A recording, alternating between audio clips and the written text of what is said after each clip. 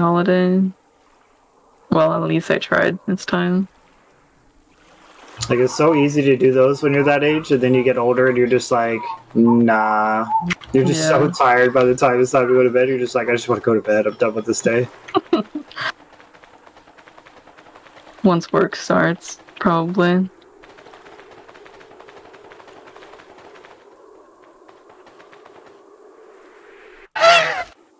What? Okay. What? Wait, what? How did you? F- what? Wait, what? Uh,